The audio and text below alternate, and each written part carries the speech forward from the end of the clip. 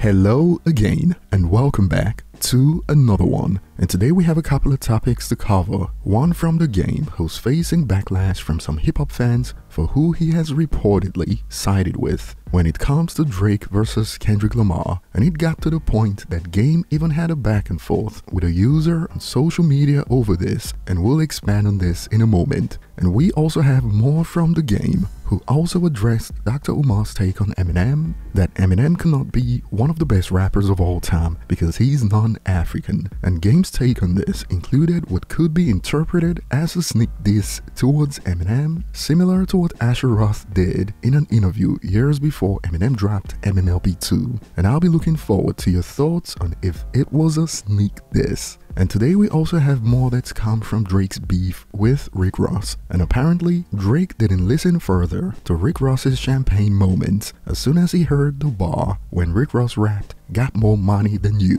And we gotta find out about this thanks to the Rory and Mal podcast. Hit Drake and like see where he's at. I'm like, how you feel about, you know, the Ross record? I'm really trying to gauge him like, damn, he kind of stepped in. He was like, he said he was richer than me and I turned it off. But that's not what Ross said though. The reason why Ross changed his voice when he said that bar is because he was impersonating Drake. Like basically Drake is saying, I got more money than you, and Ross is like, fuck you want me to say? Like yeah. I got this house. Like, fuck you want me to stay? He should have And things have gotten quite luxurious in this beef as Rick Ross shared this to Drake. White boy, white boy, BBL Drizzy, I got a question. I saw you posted you got more money than Ricky Rose. And let's assume you did. Well, your best friend, Birdman, his house went into foreclosure five years ago. You done watch that man struggle them five years and ain't get that man a mansion. Cause if you got more money than Rose, what's another 50 million, white boy?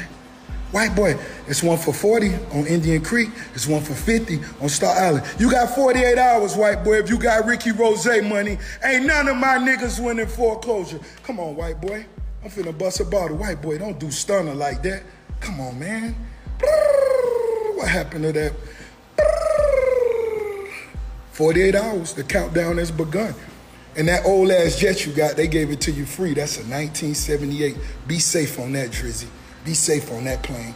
That old motherfucker. God is great. And after Rick Ross posted a video of Drake's mansion in Beverly Hills going up for sale, Drake responded to his DM about it with this lengthy post. And first, check out the caption. Look how I talk to this turkey. Laughing emoji. He should have just asked for another feature. And it goes, Imagine having 88 million to spend on a crib. Laughing emoji. Your ish be steals like you got him from a police auction. Your Star Island house on a sliver of cheesecake. Laughing emojis. Your lot 40,000 square feet. My crib 40,000 square feet. Leonard and you put a wrap on your timeshare jet. That ish coming off when it is other people turn to fly. Your Brett Berish worker. How many cases you gotta move before you gotta check? Finally, laughing emoji. Ish probably took a lifetime to see some real bread. Your bread son now. You're not Rose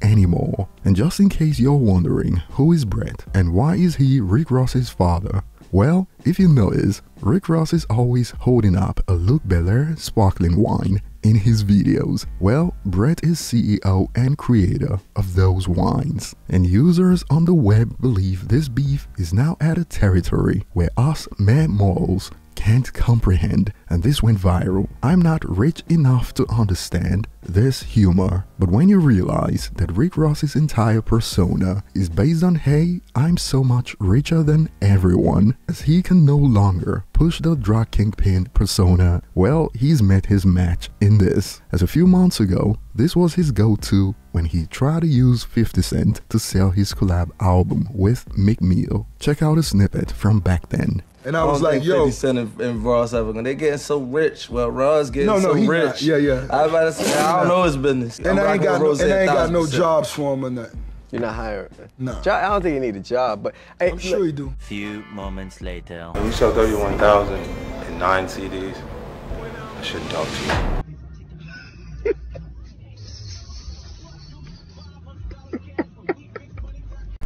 Drake took it to the next level with this post. Rick, you sandwiched in, which is on brand, cause the vacant land not yours, laughing emojis. This is the Miami starter pack. You're living in a content creator crib. The beef is certainly above our pay grade at this point, but between Drake and Rick Ross, this is certainly interesting to watch. Since like I said, Rick Ross's usual go-to when he's beefing with people is that he's richer, and I'll be looking forward to your thoughts. Moving on, the game recently shared Drake's song Energy on IG and added the caption, I got rap dudes that I gotta act like I like, and users on the web wasted no time to go off. The game is siding with Drake against Kendrick Lamar. He shared Drake's energy, broadcasting the lyrics on a 2500 Kodama speaker. The game once stood on stage with West Coast greats like Kurupt and Snoop Dogg as Kendrick Lamar cried while being passed the torch in 2010. And while games been getting blasted with takes like LOL, he flips and flops like always, a hater gonna hate, and more, the game is mad the West Coast don't love him like we love Kendrick. He could never be the level of a lyricist or artist Kendrick is. He's pathetic and he's going out sad. But Game hating on Kendrick and siding with Drake isn't new, as some have called for users to do their homework as this went viral. Lyrics from Game's song 100, where Game revealed he's got Drake and OVO covered in LA, he's got their backs. No.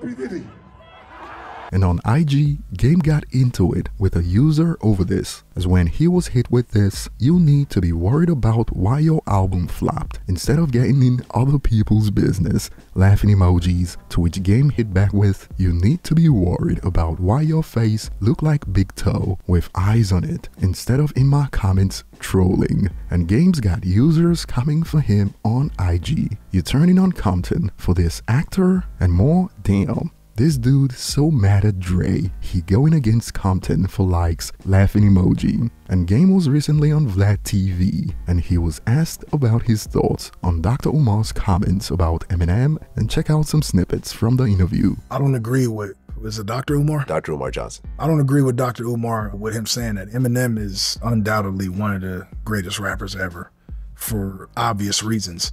Again, Michael Jordan probably can't even fucking dunk from the free throw line today. So if we want to say, well, Eminem's not great today, well, Jordan can't jump from the free throw line. Yeah. So it is. We all get older and but that doesn't mean that we don't respect or understand the the magnitude of what somebody did when they were, you know, at their beginning and at their peak. So Eminem is for sure one of the best rappers ever. I don't give a fuck if he white, black, or whatever. Dr. Umar is seems to be pretty educated and he also has an opinion. So I mean, I, I respect you know his opinion, but I don't gotta fucking agree with it. I haven't seen Eminem in 20 years, and we had our little, you know, back and forth, which is all good. But yeah, it, it still is what it is. I'm gonna keep it a buck. You know, I'm not gonna lie about it. Like Eminem is one of the greatest rappers of all time. He can take this soundbite, use against me. I don't give a fuck. Like it, it is what it is. And the fact that Game backed Eminem has sparked reactions like he didn't get the attention when he made a 10 minute love note to Eminem, so now he's grasping for attention again with Eminem's name, skull emoji. And just like 50 Cent suggested years ago, some have concluded Game is bipolar. But what are your thoughts on Game talking about Eminem like he's retired or something, using the Jordan reference while claiming he's older now? As if you remember, this is exactly why Eminem called out Asher Roth on Asshole from MMLP2, where Eminem called it a backhanded compliment. But over to you guys, share your thoughts below. Thanks for watching and see you on the next one.